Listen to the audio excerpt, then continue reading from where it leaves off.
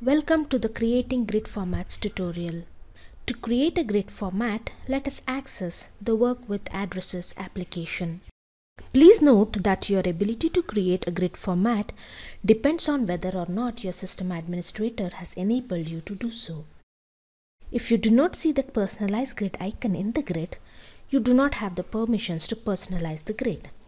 Here, let us click the personalize grid icon. The system displays the grid format manager side panel. For now, let us leave the name as create. We will provide a name when we save the grid format. Select the set as default option if you want to set the grid format as your default grid format. In the display and order section, you can choose to display the field in the order as required. For this tutorial, let us choose to display address number, alpha name, long address and industry class. And let us remove the remaining fields. You can use these up and down icons to change the order of display in the grid.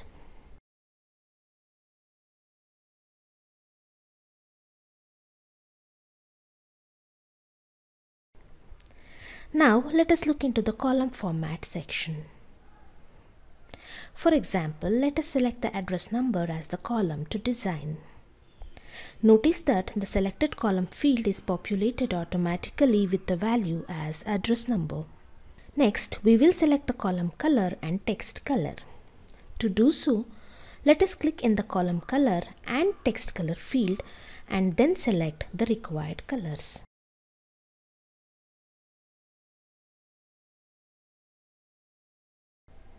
Again, notice that the color we selected for the address number field and text is updated in the selected column field.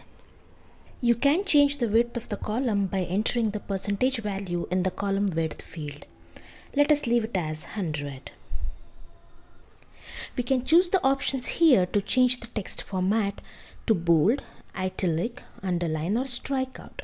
Let us choose bold option and now the selected column again changes to reflect the changes we just made.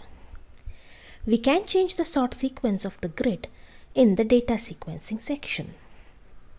To sort on a column, click the column name in the available columns list and then click the right arrow. The system moves the column name from the available columns list to the sequenced columns list. A column must be included in the grid, that is, its name must appear in the display and order list before you can sort on it. If you do not want to sort on a column, click the column name in the sequenced column list and then click the left arrow. The system moves the column name from the sequenced column list to the, to the available columns list.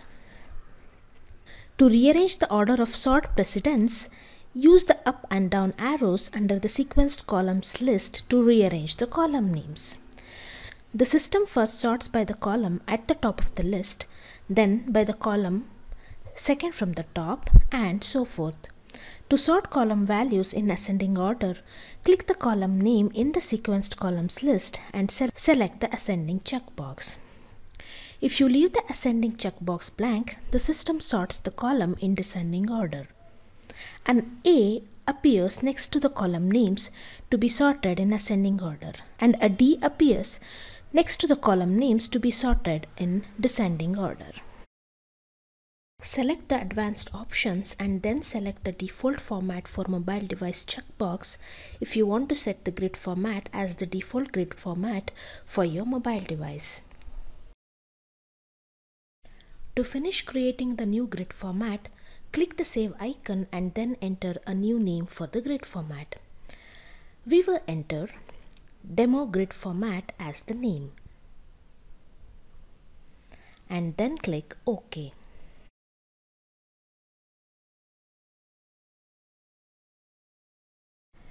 Once you have created your grid format, it appears under the personal heading. At this point, this grid format is available only to you.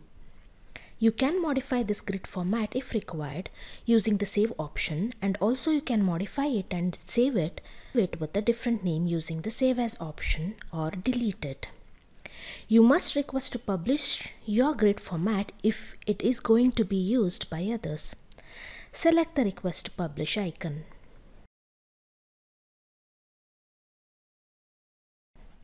Now, the grid format we created appears under the pending approval heading.